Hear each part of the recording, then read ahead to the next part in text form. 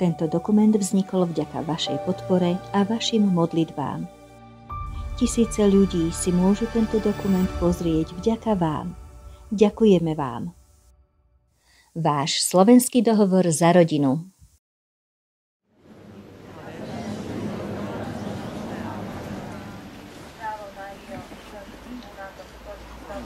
Blagoslovená Ty medzi ženama i blagosloven plod útrobe Tvojej.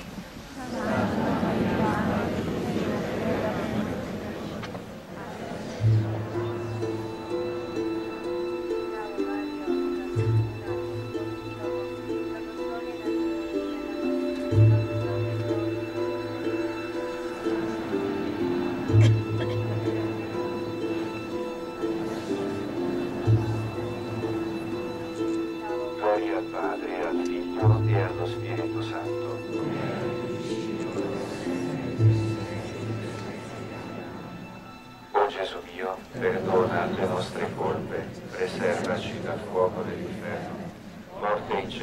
tutte le anime, specialmente le più bisognose della tua misericordia.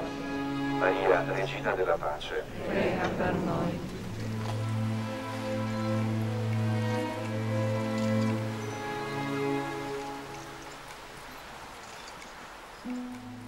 Gospa nam je a, dala svima Matka Božia nám šiestim zverila tajomstvá.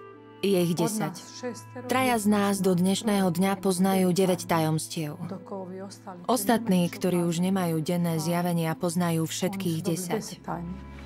Preko Mirjane Od Miriamy vieme, že siedme tajomstvo bolo zmiernené. Matka Božia prosila o modlitbu a pôst. A keďže mnohí na túto výzvu odpovedali, bolo toto strašné tajomstvo zmiernené.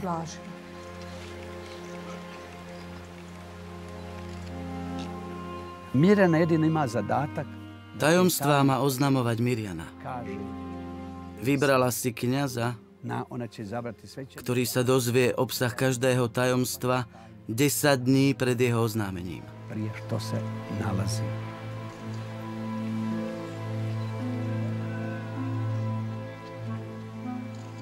Mirjana dostala od Matky Božej niečo ako pergamen, čeka. ako list formátu A4. A to je pre nás ťažké pochopiť to, ale nie je z tohto sveta. Kňaz a Mirjana sa pred odhalením každého tajomstva majú 7 dní postiť a modliť. Myslel som si, že to pôjde rýchlo, ale nestalo sa tak. Ja isto pomislio da će to brzo ići. Keď sa ma spýtali, či viem, že si ma Miriana vybrala na zverejnenie tajomstiev, povedal som, aby si nerobili žarty, pretože sú to vážne veci. jednog Ale potom prišiel deň, keď mi povedala, vieš, že som si ťa vybrala, aby si zverejnil tajomstvá? Povedal som, ďakujem ti, Miriana, je to radostná správa, hoci veľmi zodpovedná. Nie, nebál som sa. Viem, že sa za mňa a so mnou modlí veľmi veľa ľudí. Teraz všetci čakáme, kedy sa začne odhaľovanie tajomstiev.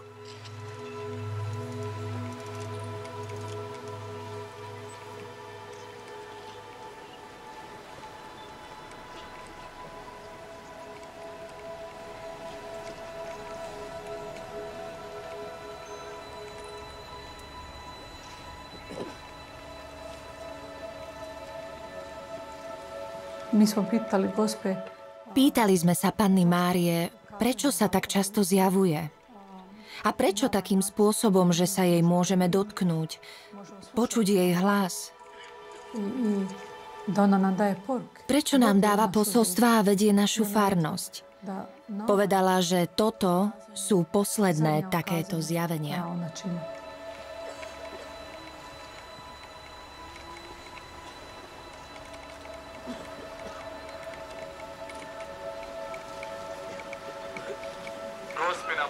Drahé deti, s veľkou láskou a trpezlivosťou sa usilujem pretvoriť vaše srdcia podľa svojho srdca. Svojím príkladom sa snažím naučiť vás múdrosti, pokore a láske. Potrebujem vás, deti moje. Bez vás nemôžem urobiť nič. Vyberám si vás podľa Božej vôle a posilňujem vás jeho mocou. Deti moje, nebojte sa otvoriť mi vaše srdcia. Dám ich svojmu synovi a on vám na oplátku dá Boží pokoj. Môžete ho zaniesť všetkým, ktorých stretnete. Svojím životom budete svedčiť o Božej láske a dávať ľuďom Krista. Budem vás viesť skrze modlitbu, pôst a zmierenie. Moja láska je nesmierna. Nebojte sa. Deti moje, modlite sa za kňazov. Neposudzujte ich, pretože si ich vyvolil môj syn a iba on má právo súdiť. Ďakujem vám.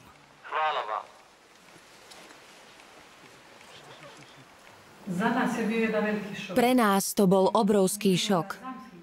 Nikto si nevedel predstaviť, že by sa Matka Božia mohla zjavovať tu, v Medžugorí. Bolo popoludne Sviatku Jána Krstiteľa. Nikto nepracoval. Deti sa hrali, ľudia sa stretávali, navštevovali sa, aby si spolu vypili kávu a porozprávali sa. Tak vyzeral ten deň. Vicka, Ivanka a Miriana sa vybrali na prechádzku. Tu je park, v ktorom sa nachádza ihrisko na loptové hry. Ivan a Jakov práve hrali futbal, keď počuli volanie Hej, poďte sem, je tam Mária. Bolo to neuveriteľné. Aká Mária, čo ste sa zbláznili? Pribehli. Pozrite tam! A uvideli Máriu na štíte vrchu. Tam, medzi stromami. Tam bola. Podvečer, tak okolo 19. hodiny, sa zjavila Matka Božia. Všetci boli v šoku. Utiekli. Vicka dokonca stratila papuče. Musíte si uvedomiť, že tu vtedy vládol komunizmus. Keď nám moja sestra doma porozprávala, čo sa stalo, ostali sme v šoku. Nevedeli sme, čo na to povedať. Zamýšľali sme sa, či to náhodou nebol nejaký Marťan. Pýtali sme sa, ako to vyzeralo. A ona povedala, že tam bolo veľké svetlo a že to bola Matka Božia. Že videli, ako držala v náručí malého Ježiška a pozývala ich, aby prišli bližšie.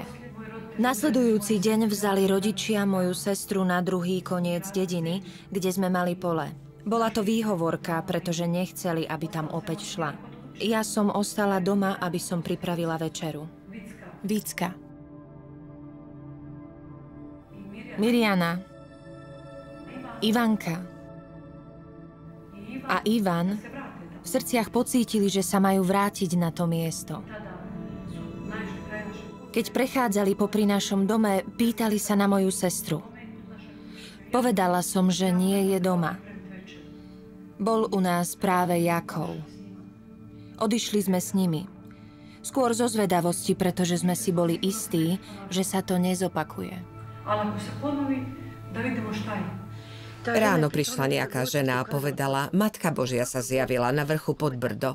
Pýtam sa, aká Matka Božia? Rozhodli sme sa, že tam večer pôjdeme a zistíme, čo sa deje. Šla som s dvoma dievčatami, ktoré pochádzajú odtiaľto.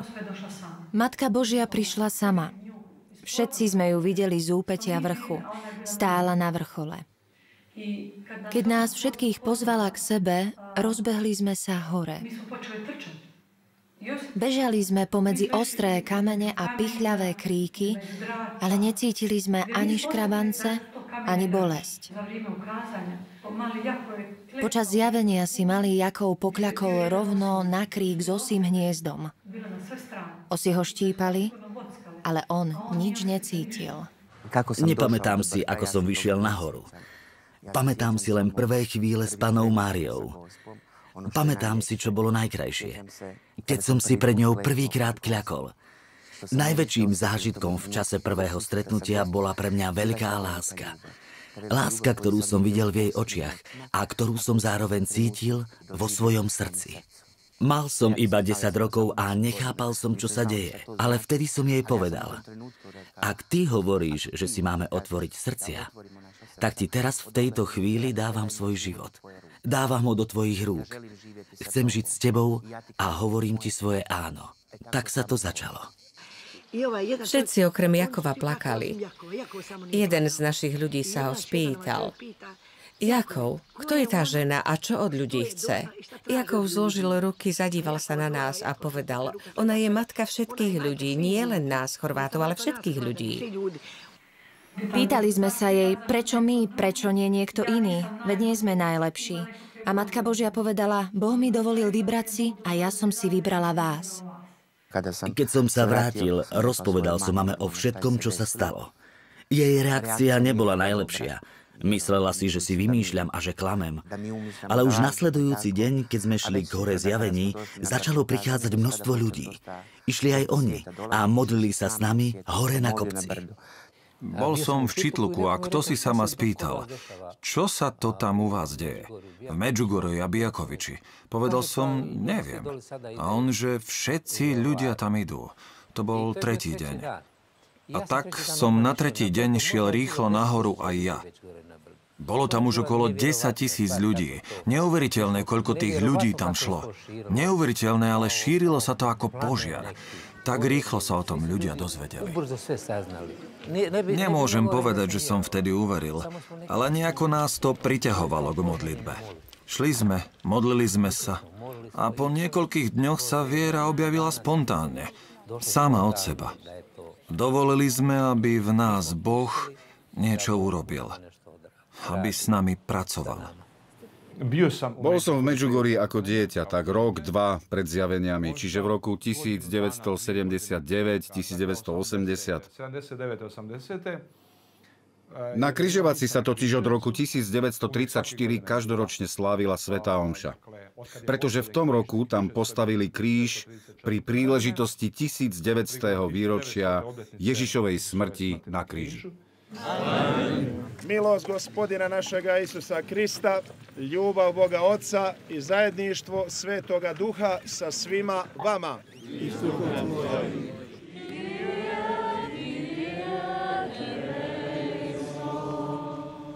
Gospa do duše govori Matka Božia hovorí o jedinečnosti tejto farnosti.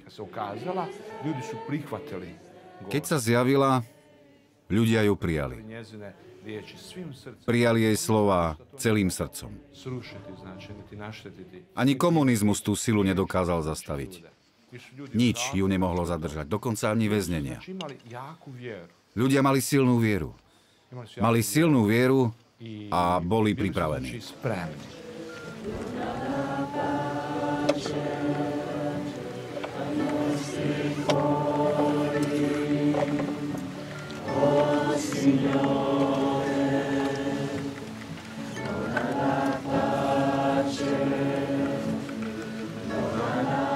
27. júna som bol s nimi na hore zjavenia. Nedá sa to opísať. Bolo to čosi zvláštne, čo sa nedá opísať slovami.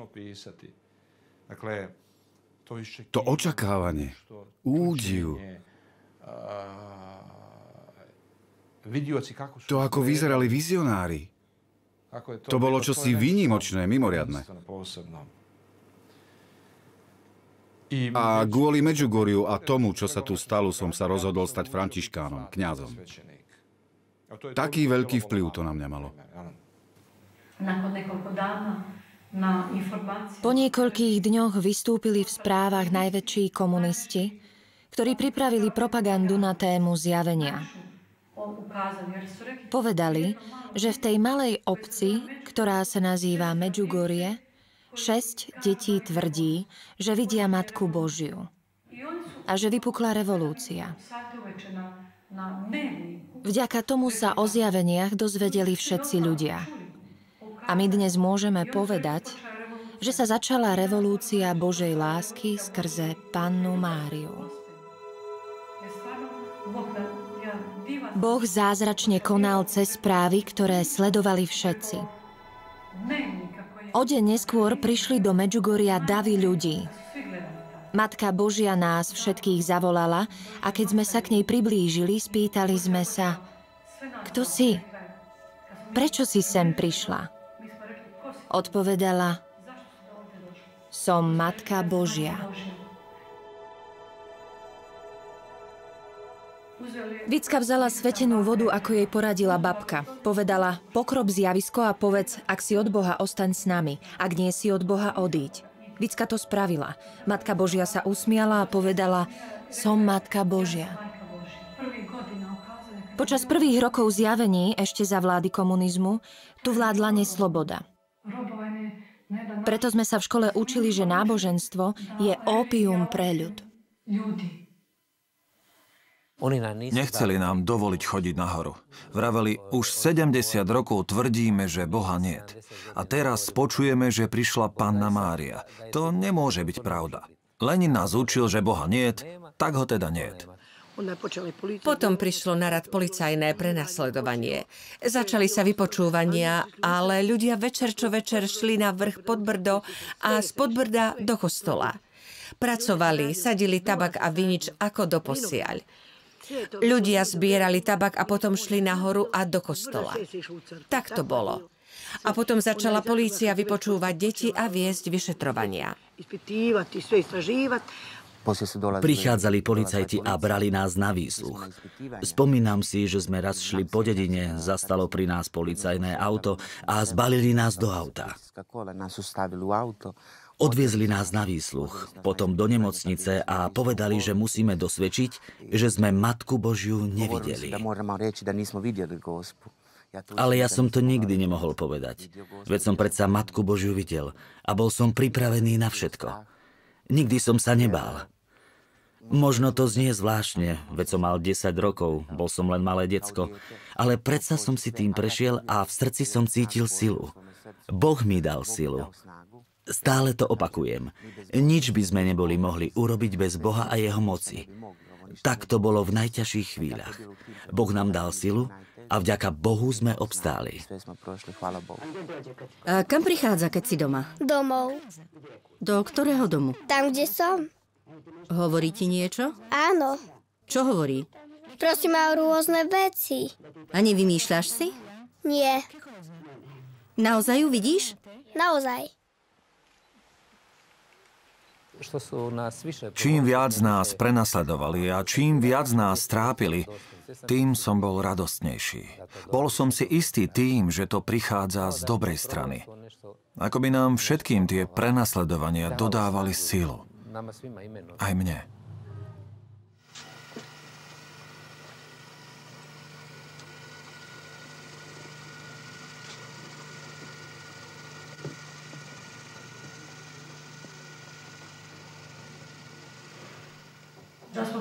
Spýtali sme sa jej, pod akým menom prišla. Odpovedala, prišla som sem ako kráľovná pokoja. Dnešný svet potrebuje pokoj, pokoj v srdciach. Pretože ľudia nepoznajú Boha. Nie je pokoja v rodinách, nie je pokoja vo svete. Videli sme, ako jej po tvári tečú slzy. Bolo to pri treťom zjavení. Matka Božia vtedy povedala pokoj, pokoj, pokoj a rozplakala sa. Za ňou bol veľký čierny kríž bez korpusu. Prosila o pokoj medzi človekom a Bohom. Pokoj medzi ľuďmi, o pokoj v srdciach. Povedala nám, že skrze modlitbu a pôst je možné zabrániť aj vojnám.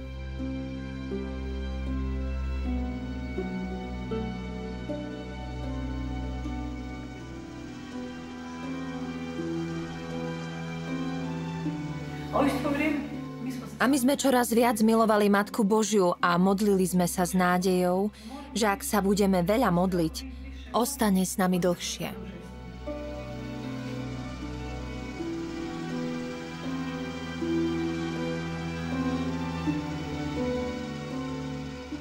Pýtala som sa na cerku mojej švagrinej, ktorá býva v Austrálii. Chcela som vedieť, prečo je už 11 rokov postihnutá. Prečo sa to stalo? Matka Božia povedala Vicke, Ivanovi aj Márii, každému nezávisle od seba. To dieťa je postihnuté, aby ich manželstvo vydržalo.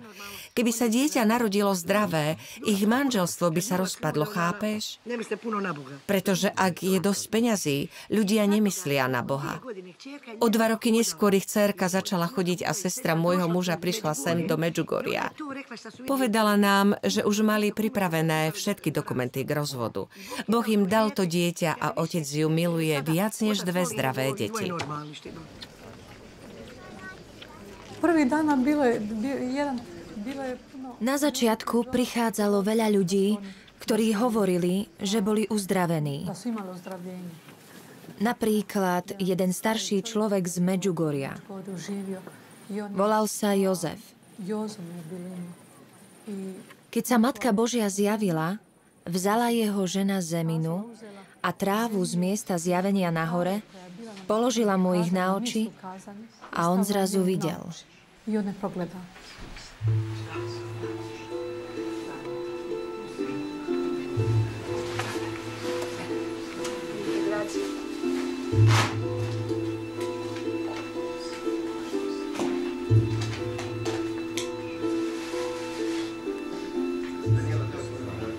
Bilo je neke djece koja su, koje su Boli aj choré deti, o ktorých rodičia tvrdili, že sa uzdravili.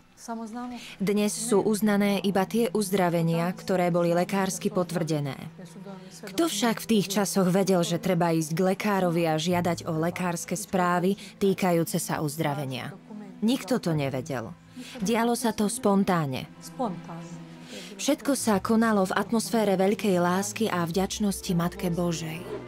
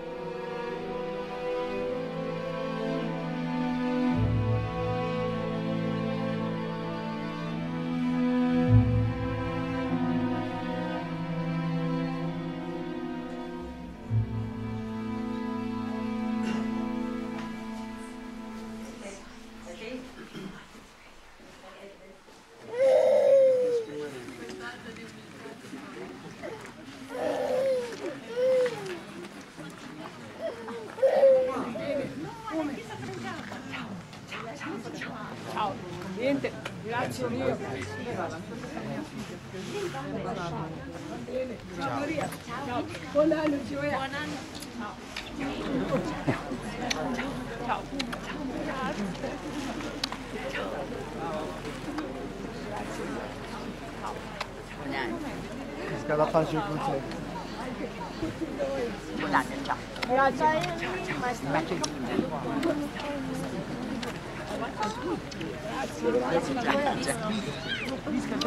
Della parrocchia, giovani della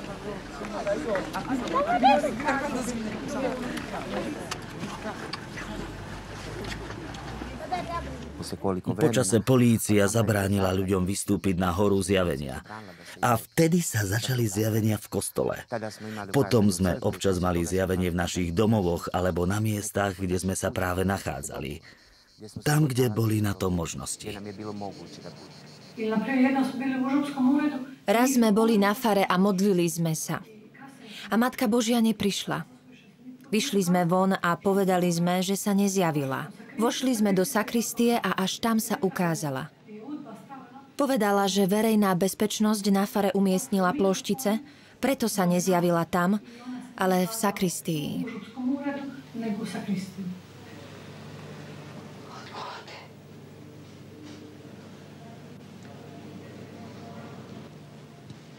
Zapisovali čísla aut, polícia prikázala zapisovať ešpezetky. A potom tým ľuďom nedovoľovali prísť do Medžugoria. Ale oni zaparkovali auto 5 kilometrov od miesta zjavenia a šli ďalej pešo. Nebolo možné ich zastaviť.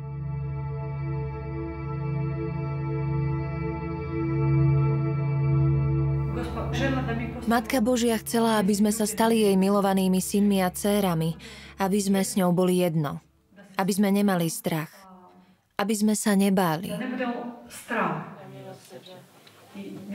Mnoho ráz nám, vizionárom, dovolila objať ju a ona sama nás tiež objímala. Na začiatku nás oslovila moji drahí anieli, hoci my sme vedeli, že máme ďaleko od anielov. Ale ona nás s láskou oslovovala drahí anieli, pretože k nám chcela hovoriť láskavo a tiež preto, aby nás priblížila k sebe. Boli sme na to hrdí. Často sme si mysleli, že nastal náš posledný deň, pretože tlaky na nás boli silné a chceli nás zničiť.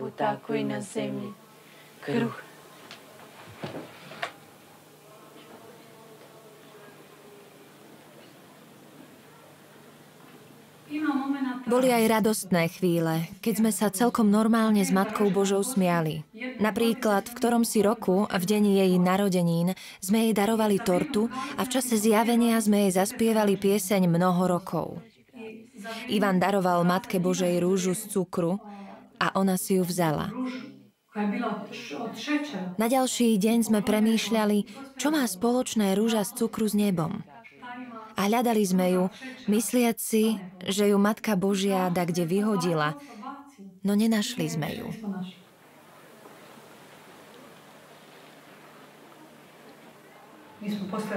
Kládli sme jej otázky, z ktorých sa Matka Božia často smiala. Pýtali sme sa napríklad, či existuje život na iných planétach. Usmiala sa a odpovedala, že teraz nie je vhodný čas, aby o tom hovorila a povzbudzovala nás k modlitbe.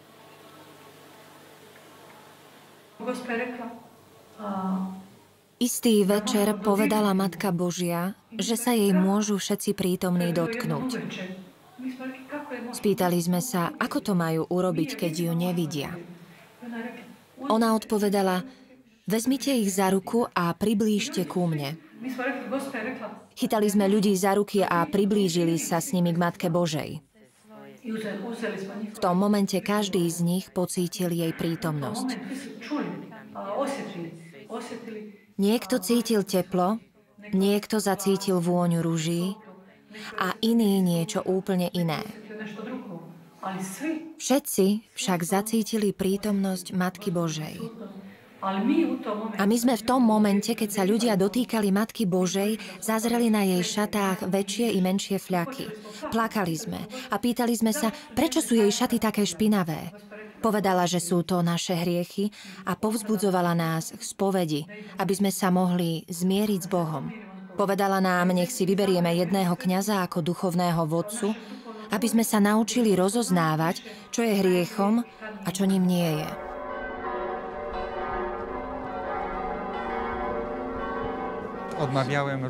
Odmietol som mnoho skupín, ktoré prosili, aby som s nimi šiel do Medžugoria.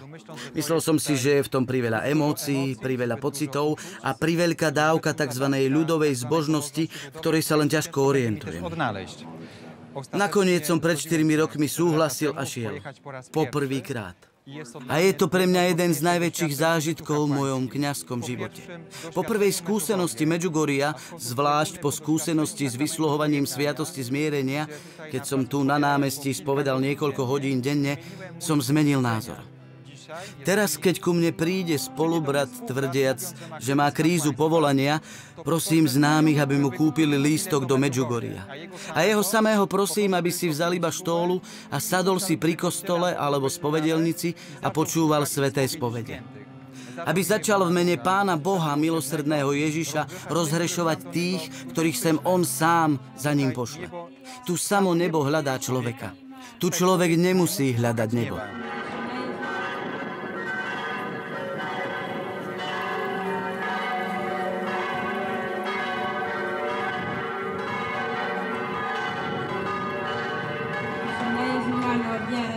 Viem, som o tom osobne presvedčený, že sa tu Mária dotýka zeme a že sa dotýka ľudí.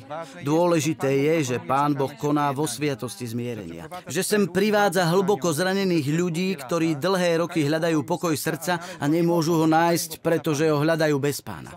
A niekedy sa tu konajú spovede, počas ktorých Pán Boh dá milosť otvorenia srdca a prichádza s veľkým požehnaním a veľkým pokojom. Príde nejaký človek a povie, oče, nechcel som sa spovedať, nemyslel som na to, ale čo si ma sem postrčilo? Kto si ma sem priviedol?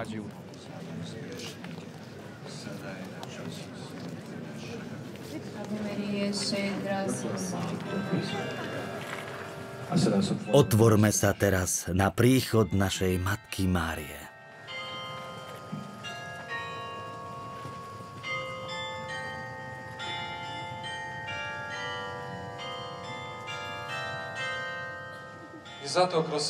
Počas všetkých tých rokov sa Matka Božia zjavuje vďaka Bohu a Jeho milosti. Mnohí ju stretli a stretávajú. Už nie ako abstraktnú bytosť, ale ako matku, ktorá je blízko a kráča s nami.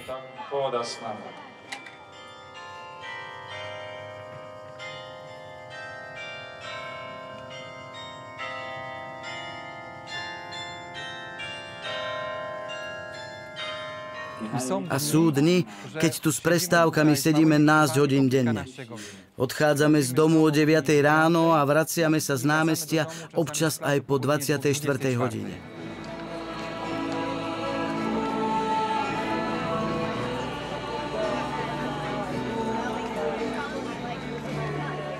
Spovedajúc iných sa sami vraciame k podstate. Pán Boh nám dáva veľkú radosť kňastva, hovorím za seba. Viem, že je tu Pán Boh živý, nie ten knižkový, naštudovaný, ale Pán, ktorý sa dotýka.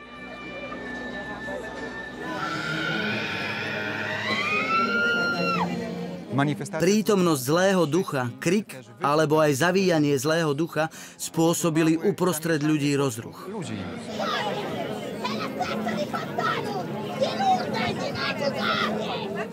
Keď sa začíname modliť, zlý duch začína reagovať. Nenávidí Máriu.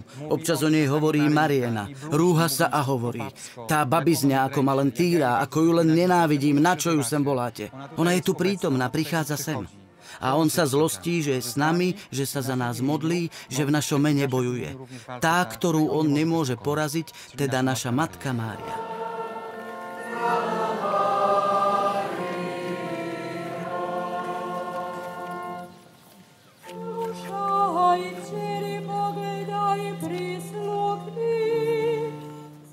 Pán neraz prichádza vo sviatosti zmierenia so zážitkom spočinutia v duchu svetom. Túto skúsenosť som mnohokrát mala ja, že pán prišiel s pomazaním ducha svetého, dokonca ešte pred rozhrešením. Kňaz vystiera dlaň, aby osobu v mene Najsvetejšej Trojice rozhrešil a pán ju uvedie do spočinutia. Hlboko verím, do Božieho spočinutia. A neskôr vidíme, že keď po spovedi pokračujeme ďalej modlitbou chvály, prichádza Duch Svetý s darom slz, darom uzdravenia či darom nového života. Duch Boží, Duch Svetý neraz bojuje so zlom, ktoré človeka dovtedy zraňovalo. Duch Svetý akoby zrazí k zemi chorú osobu a zdvihne ju uzdravenú. S novou skúsenosťou, neraz aj so zážitkom daru slz.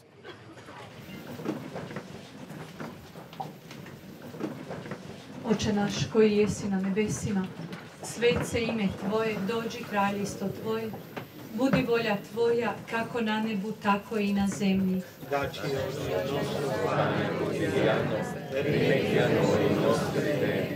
come noi rimettiamo ai nostri debitori, e non ci indurre in tentazione, ma liberaci dal male.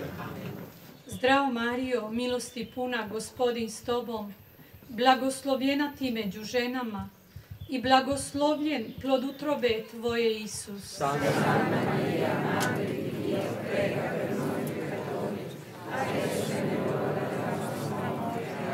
Zdravo Mario, milosti puna, gospodin s Tobom, blagoslovljena ti među ženama i blagoslovljen plod utrobe Tvoje, Isus. Santa Maria, Madre di Dio, prega per noi peccatori, adesso e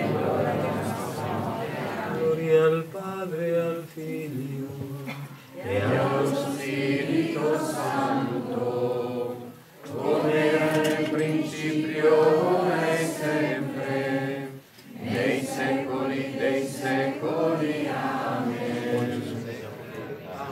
Oče naš koji jesi na nebesima, svet se ime Tvoje, dođi kraljestvo Tvoje, budi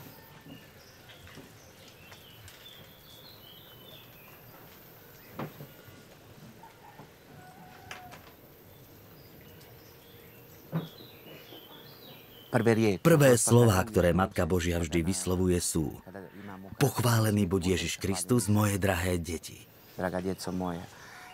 Ja sa na Matku Božiu dívam predovšetkým ako na svoju mamu. A to je na nej najkrajšie. Jej materinská láska voči nám všetkým. Nedá sa to opísať slovami. Matka Božia je taká krásna. A najkrajšie je to, čo pociťuješ vo svojom srdci vo chvíli, keď ju zbadáš.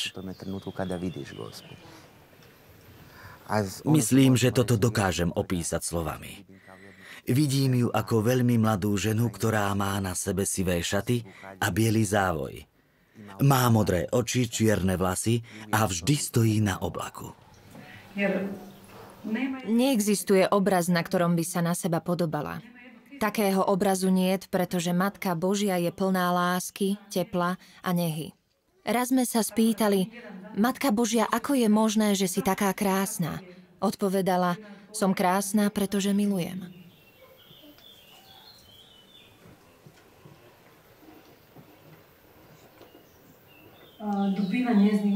Hĺbka jej očí, harmónia očí, úst, nosa. To je tako Dá sa povedať, že vyzerá božsky.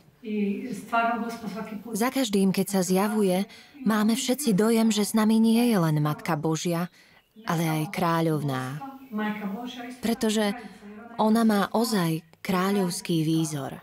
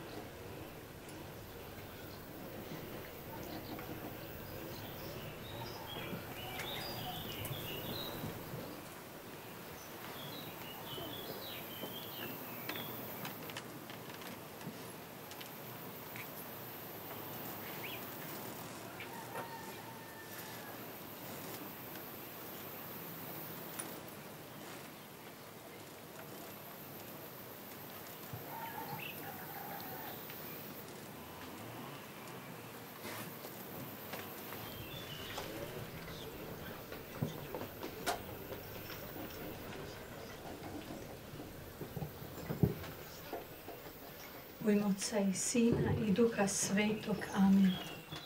Kad je meni bilo 16 godina, Matka Božia sa zjavila, keď som mala 16 rokov. Potom som si myslela, že vstúpim do kláštora. Ale nestalo sa tak. Skúšala som to, ale povedali mi, Mária, keď budeš v kláštore, mohli by sme ti v duchu poslušnosti zabrániť hovoriť o Matke Božej. ja nisam na to pristala. Nesúhlasila som a pomyslela som si, že môžem byť svetá, aj keď budem mať rodinu. Teraz vďaka Bohu rodinu mám. Mám štyroch synov. Nech nás Boh žehná. Matka Božia povedala vo svojich posolstvách, že tam, kde je dobro, je aj zlo. Existuje zlo, ktoré chce zničiť všetko, čo je dobré. Lenže my vlastníme zbraň na boj so zlom. Tou zbraňou je otvoriť sa Bohu, prijať posolstvá Matky Božej a modliť sa. To je najsilnejšia zbraň v boji so satanom. Keď som raz bola v dome Jakova, zjavila sa Mária a povedala A teraz pôjdete so mnou. Vtedy Jakov rýchlo odvetil Matka Božia, vezmi len Vicku, lebo ona má veľa bratov a sestier. Ja som jedináčik. Nemôžem len tak odísť a nevrátiť sa. Vtedy som si pomyslela, že neviem koľko hodín, koľko dní nám to zaberie, či pôjdeme hore, či nadol. A Mária ma vzala za pravú ruku, Jakova za ľavú, postavila sa trochu pred nás a vzala nás so sebou. Jednoducho sa nad nami otvoril plafón a vytvoril sa prechod. A v tej sekunde sme sa ocitli v raji. Videl som nesmierny priestor. Nejaký zvláštny druh svetla, ktorý volám teplým svetlom. Svetlo, ktoré cítiš. Cítiš, že ťa objíma. Videli sme tam ľudí. Toľko dokážem opísať slovami. To je ono što možemo reći našim riječima. Ale najkrajšie v raji je to, čo cítiš v srdci. Ten pokoj a radosť, že si tam.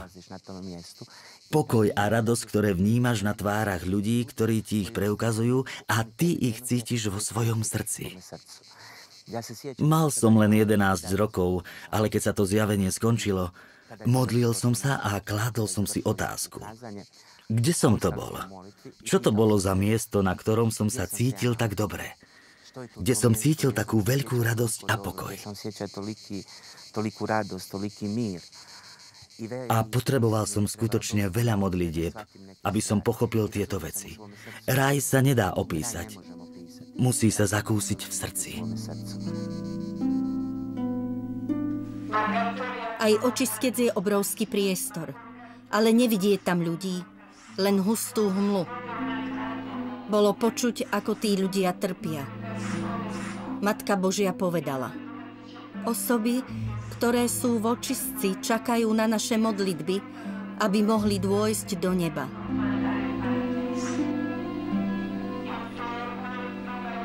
V pekle sme videli obrovský oheň.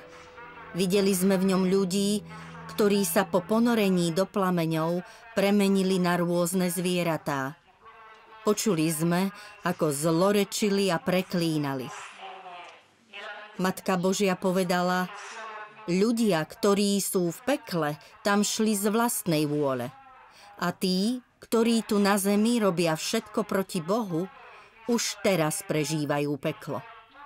A tam bude len jeho pokračovanie –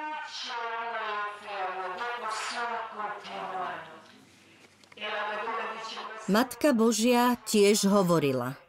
Mnohí ľudia si myslia, že smrťou sa všetko končí. To je obrovský omyl. Na zemi sme len prechodne. Je to len prechádzka. Život má svoje pokračovanie.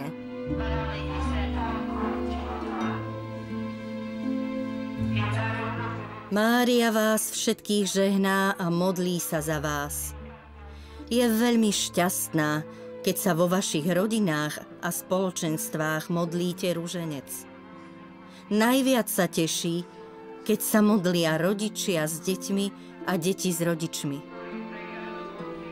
Pretože Satan nemôže z oči v oči takej jednote urobiť nič. Teraz, v tejto vážnej chvíli, Ostaňme všetci v tichu. Budem sa modliť a prosiť o požehnanie pre každého z vás.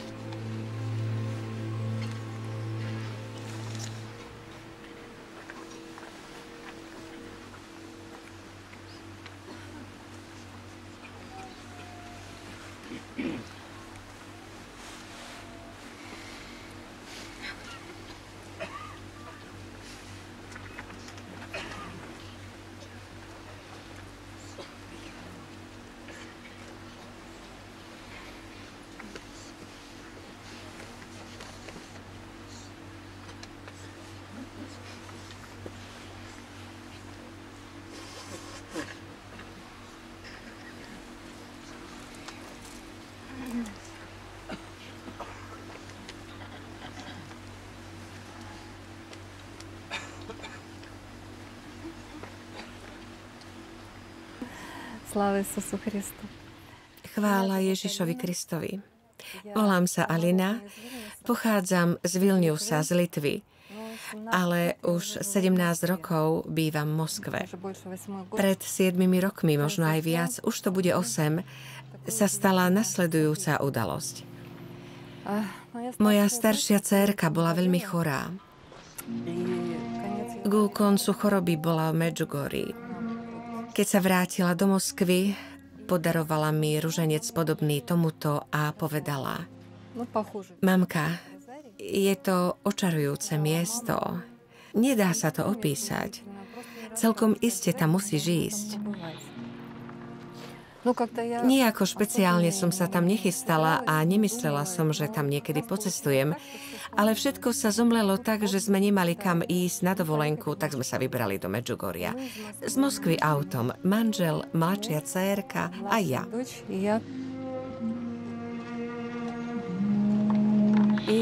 Keď sme prišli do kostola, vo všeobecnosti som sa považovala za veriacu, som si počas Svetej Omše s prekvapením všimla, že moja dcéra Sandra sa nevie modliť. Hneď som ju začala učiť modliť sa ruženec. Počas celej Svetej Omše som teda držala v rukách ruženec, modlila som sa a popri tom počúvala, či moja dcerka správne vyslovuje slová modlitby. Odrazu som zacítila intenzívnu vôňu ruží. Pomyslela som si, že v kostole museli niečo nasprejovať. Premýšľala som, odkiaľ sa tá vôňa berie. Keď som sa predklonila, zacítila som, že vychádza z mojich rúk. Otvorila som dlane a zazrela som, že zo zrniek ruženca vyteká akási tekutina. Bolo jej tak veľa, že stekala po mojich dlaniach. A práve táto tekutina, pochopila som, že je to kryzma, vydávala takú krásnu vôňu podobnú vôni ruží. Pre mňa to bolo, neviem, niečo také... No, bol to šok. Nevedela som, čo mám robiť. Dívala som sa na ruženec a olej, ktorý tiekol po mojich rukách. Ukázala som to cére. Ona sa veľmi začudovala a zvolala. Mami, ako to vonia. Ukázala som to manželovi a on sa trochu nedôverčivo pozrel asi sa zľakol. Nechápal, čo sa deje.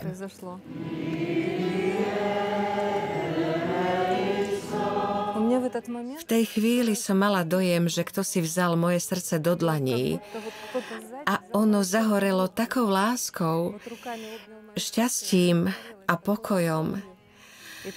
Nikdy predtým som nič podobné nezažila. Nikdy.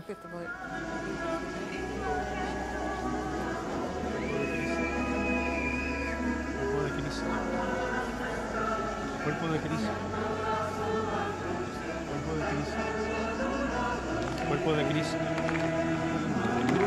Cuerpo de Cristo. Cuerpo de Cristo. Potom som chcela ísť na Podbrdo, ale zablúdila som a ocitla som sa na nejakom poli. Začala som sa modliť, modliť, modliť a na každú otázku, ktorá sa zrodila v mojej hlave, som dostávala odpoveď. Celý môj život prebiehal pred mojimi očami ako na slajdoch. Najskôr som videla farebné obrázky, tie, na ktoré bolo príjemné spomínať, ktoré by si človek chcel pamätať navždy. Potom som videla momenty, na ktoré by som najradšej zabudla. Ale ukázali sa mi s takou láskou a tak jemne.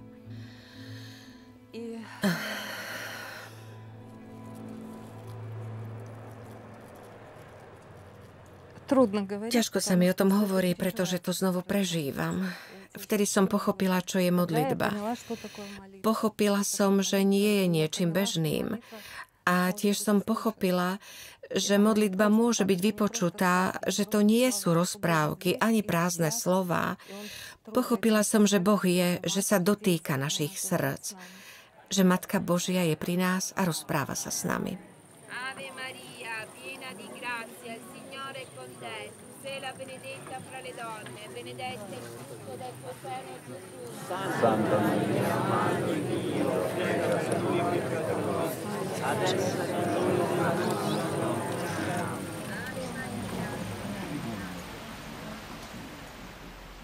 Kada imam ukázanie, Keď mám zjavenie, vždy som tu s ľuďmi, ktorí sem prichádzajú na Vianoce. V tento deň prichádza Matka Božia s malým Ježiškom v náručí, oblečená v zlatom.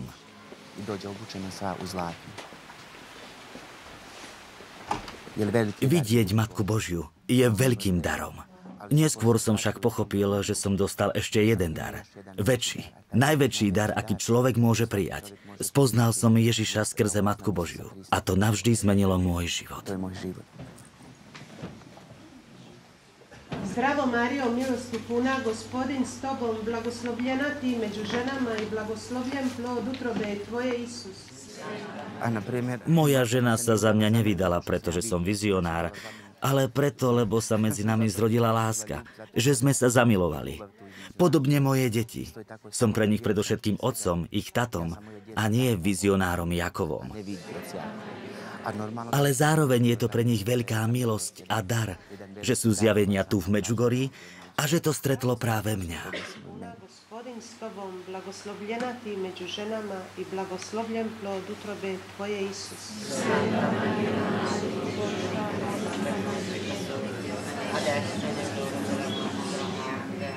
Zdravo Marijo, milosti puna, gospodin s tobom, blagoslovljena ti među ženama i blagoslovljen plod utrobe tvoje, Isus.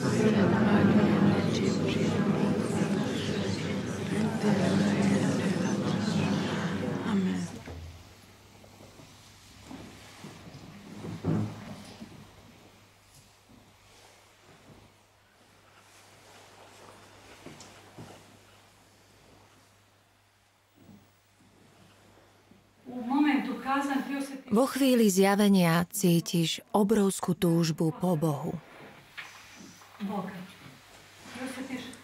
Vnímaš neveľký kúsok neba a za tým nebom prahne tvoja duša a to je najväčším pokáním, aké zakúšame.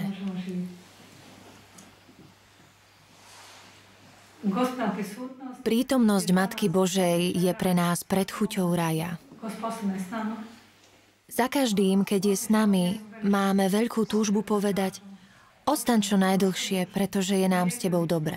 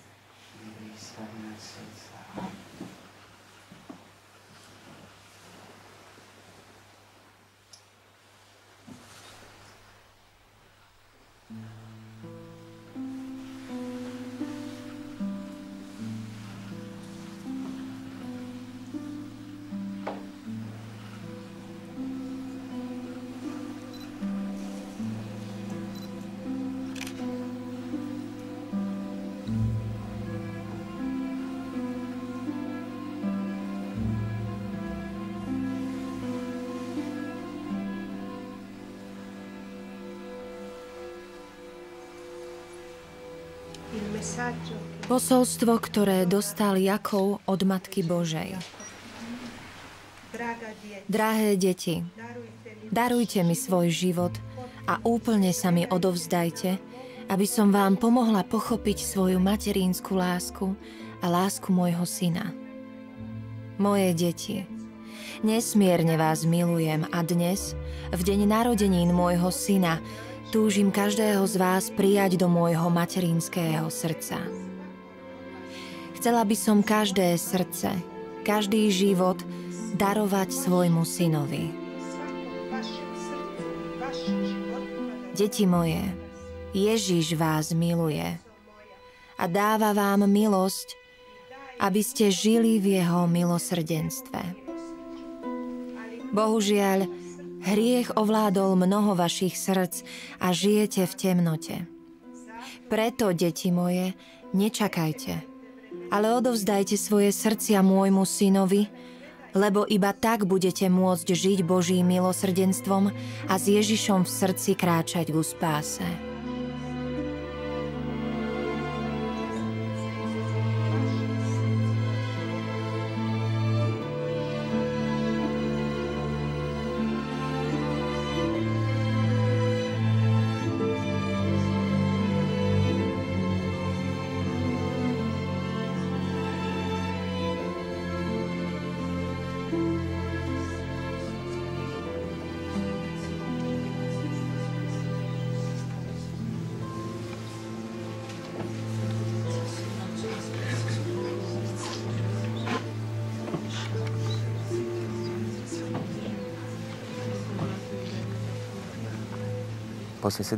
Po 17 rokoch zjavení nastal deň, keď mi Matka Božia povedala, že už ku mne nebude prichádzať.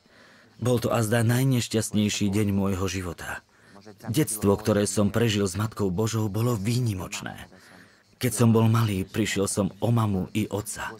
Matka Božia mi bola všetkým. Bola mi mamou, sprevádzala ma životom a dávala mi lásku, ktorú som potreboval. Videl som ju každý deň. Prvá vec, ktorá mi napadla, bola otázka. Spravil som nejakú chybu? Potom som si pripomenul slová Matky Božej.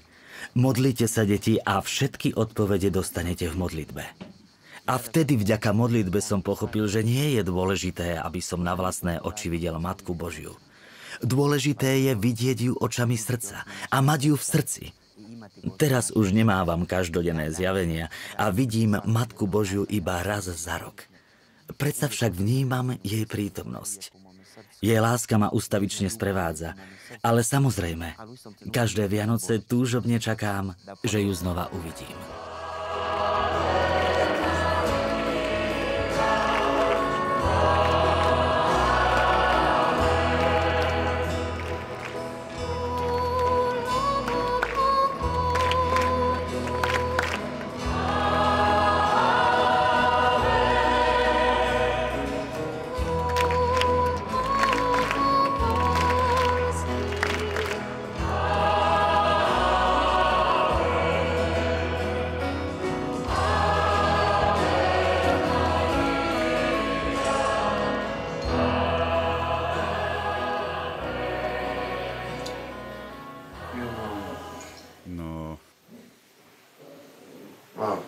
Wow.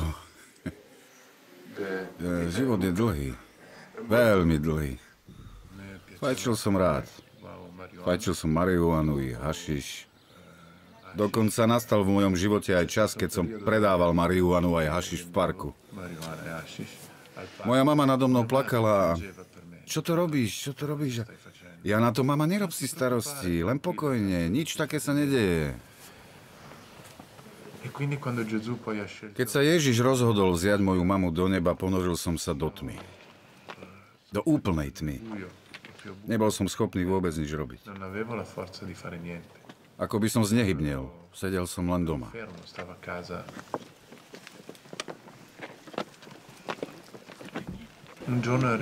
Jedného dňa sa objavilo dievča. Predstavili mi ju. Bola mladá, mala 23 rokov. Začali sme spolu bývať. No ja som sa každý deň cítil horšie a horšie a, a nemohol som pochopiť, kvôli čomu som sa cítil tak zle. Bolelo ma srdce, neustále som cítil strach, nepokoj, únavu, ústavičnú ospalosť.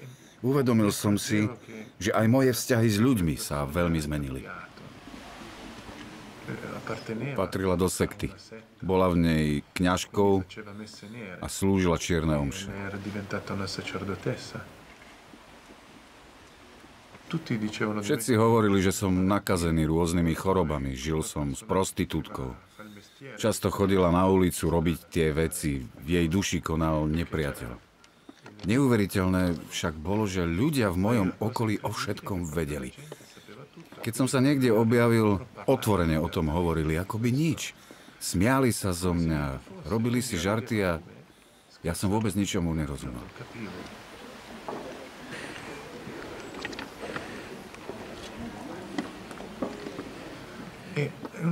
Jedného dňa sa mi priznala.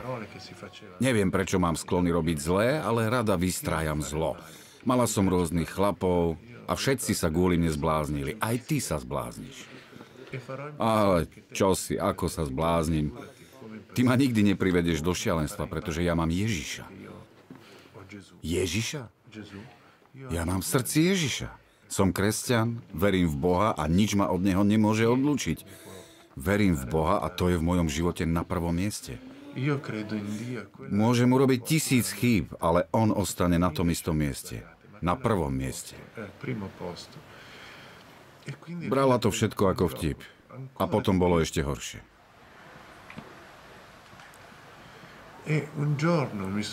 Jedného dňa som si všetko uvedomil.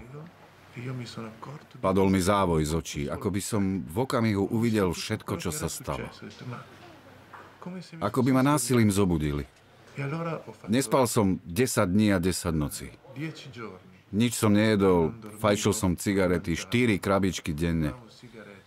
Kráčal som, kráčal bez prestania. Nemohol som prestať chodiť.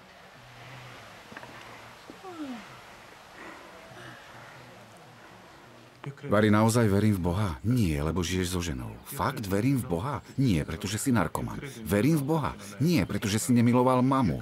Verím v Boha? Nie, pretože si neposlúchal otca. Verím a stále sa opakovalo nie, nie, nie.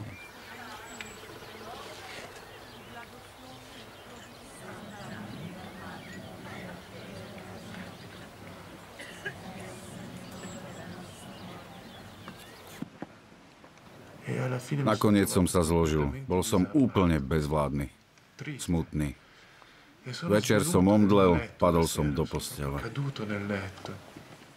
Keď som sa prebral, cítil som niečo ako pohľadenie v srdci, ako pohľadenie v duši. V tom pohľadení som cítil lásku svojej mamy. Povedal som si, idem do Medžugoria. Vrátil som sa domov a sestra mi kúpila lístok do Medžugoria. Zbalil som si len bundu a zubnú kevku. Keď som prišiel, bol som presvedčený, že tu, v Medžugorí, opäť stretnem svoju mamu. Všetci vraveli, že sem prichádza Mária, ale ja som nevedel, či to je Mária, ktorá by mala byť mojou matkou. Vary, to je aj moja mama? Všetko sa mi zdalo čudné. Sadol som si na trávnik pri kostole. Sedel som na tom trávniku týždeň a plakal som. Nedokázal som nič iné.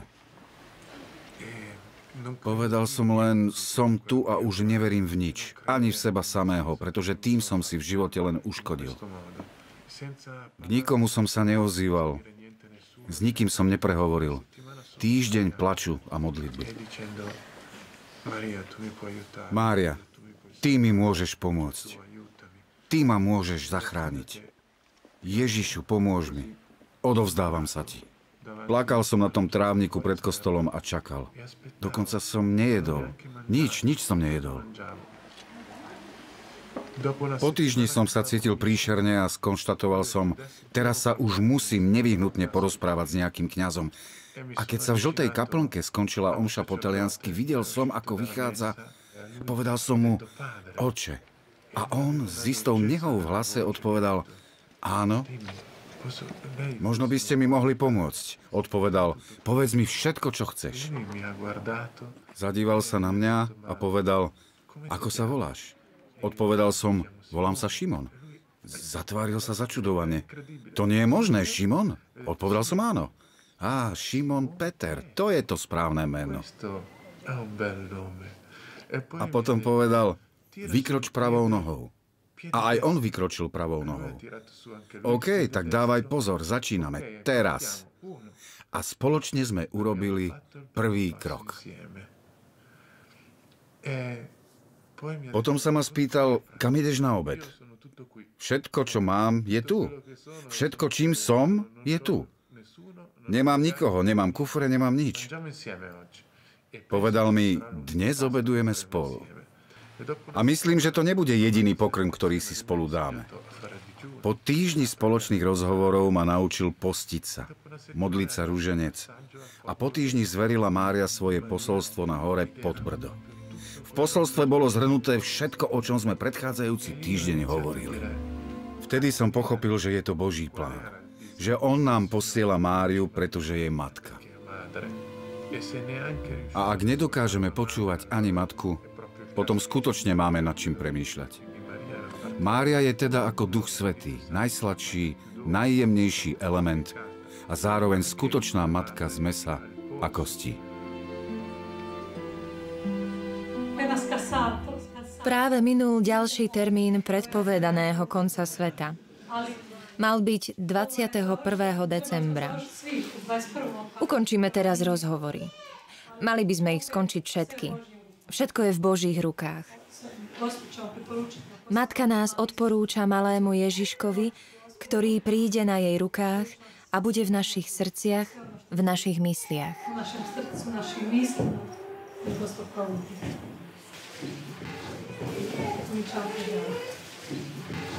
Zdravo Mario, milosti puna, gospodin s tobom. Blagoslovljena ti među ženama i blagoslovljen plod utrobe tvoje Isus. Sveta Mario, Majko Božja, moli za nas grešnike, sada i na času smrti naše. Zdravo Mario, milost Uvijek prije ukázania. Na začiatku zjavenia sa vždy ukáže veľké svetlo, akoby z diaľkových svetiel, ale oveľa silnejšie. Potom Matka Božia schádza z neba smerom k zemi. Nikdy sa nedotýka zeme.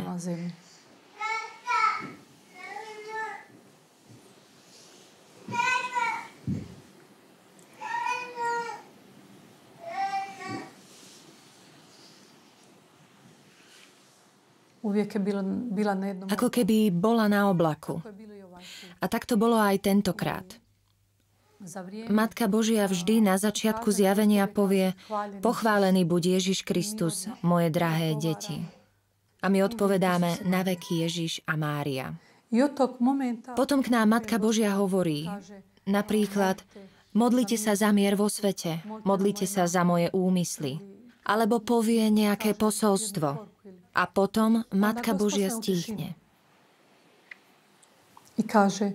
To ticho znamená, že jej môžeme odporúčať ľudí, ktorých sme stretli, modliť sa za pokoj vo svete, modliť sa za chorých, núdznych, za umierajúcich, za všetkých, ktorí k nám prišli a prosili o nejaký špeciálny dar, dar. Uzdravenia, dar obrátenia, dar pokoja.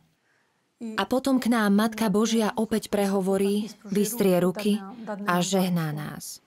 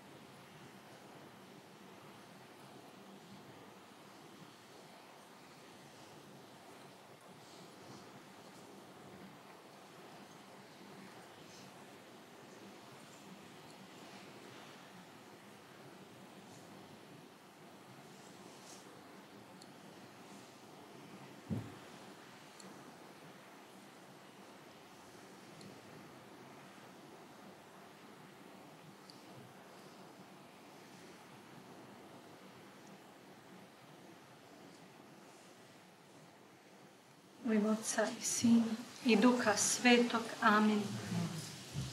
Veliča duša moja gospodina. Veliča duh moj Gospodine spadašte.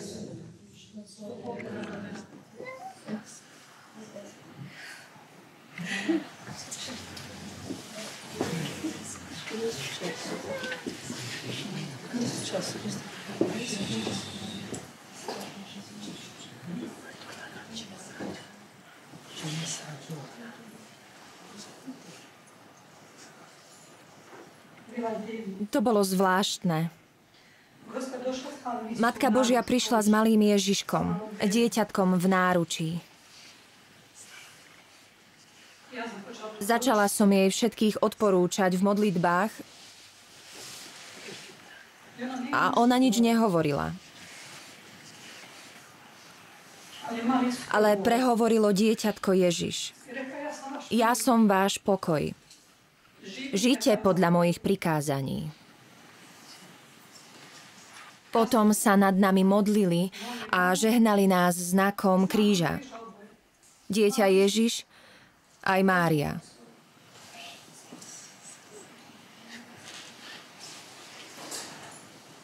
Pokiaľ ide o 10 tajomstiev, pri zverejnení každého z nich existuje nasledujúci poriadok.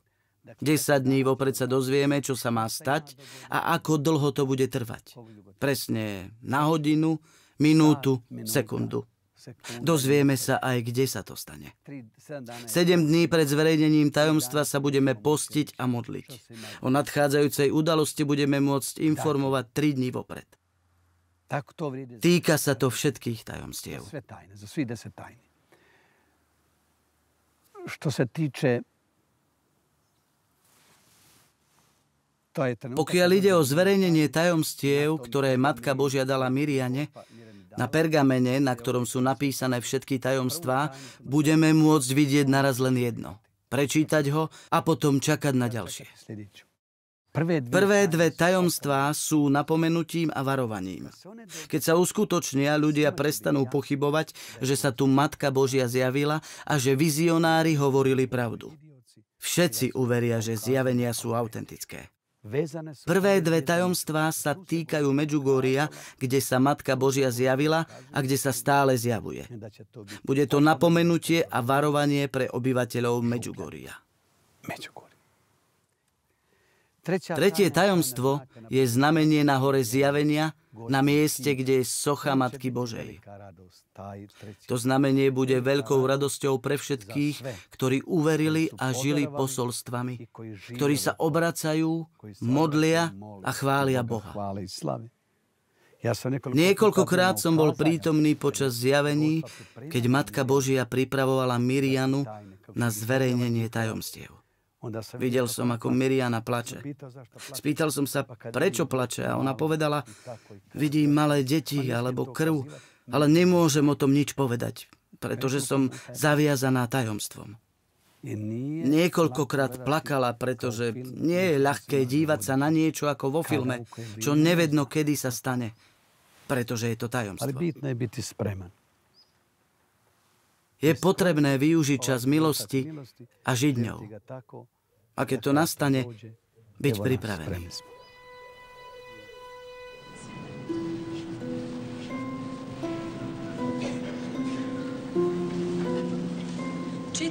Čítanie z knihy Zjavenia svätého Apoštola Jána. Ja, Ján, videl som nové nebo a novú zem, lebo prvé nebo a prvá zem sa pominuli a ani mora už niet. A videl som sveté mesto, Nový Jeruzalem,